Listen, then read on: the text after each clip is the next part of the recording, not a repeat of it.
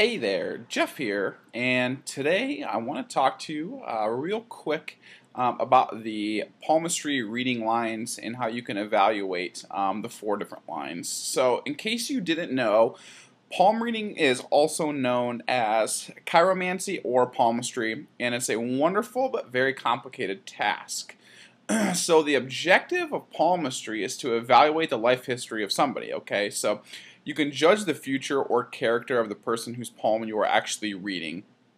So here are the best and great tips for evaluating the palm of any person, okay? So first off, let's talk about the selection of the hand. The first step should be the selection um, of the right kind of hand. If you want to read the palm of any female, you should choose the right hand to evaluate the fate and the left hand to evaluate what she has accumulated in her entire life. if you want to read um, the palm of a male, you should do it the opposite way. Okay, so there are four major lines um, to identify in the first steps of palm reading. They're the headline, the heart line, the lifeline, and the fate line. Uh, and just a heads up, you'll only see the fate line in just a few hands. Okay, but the heart line this is the line that goes straight from the index finger to the pinky finger. This line is very helpful for indicating the cardiac health, emotional attachment with someone, and romantic stability uh, in your life. If the heart line starts below the forefinger, it shows the contentment with love life. So if you see the line starting below your middle finger, it shows um, the selfishness from your side in love. So if the line is short and straight, you have less interest in love. The long line shows your expressiveness and love as well. Now, the headline um, occurs below the heart line and shows the thirst for learning and your um, intellectualism. So if the line is short, it's going to show um, your preference of physical achievements over brain. So the curved headline shows your ability um, of creativity.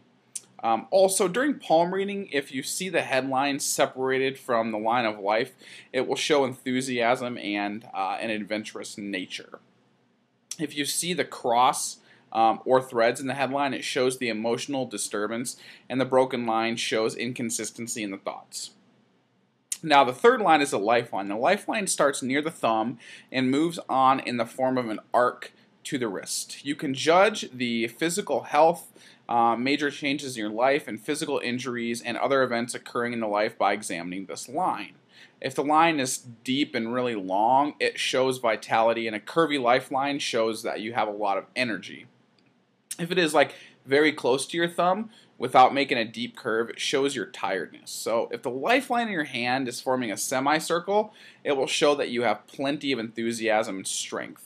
If you have more than one lifelines, you possess actually um, excess vitality. Okay, so the circles and the lifeline show your injuries and hospitalization period, and if it breaks somewhere, it shows that you suddenly changed um, your lifestyle. Okay. So the last line here is the fate line. It's kind of also known as the destiny line. It divides the palm basically into two parts. It can be seen if your fingers are upward and the palm is downward. It is not present in all of the hands. If the line is deep, it will show the strong role of destiny in your life, okay? So in some hands, the line of destiny joins a lifeline from the start. It shows that the person is basically self-made.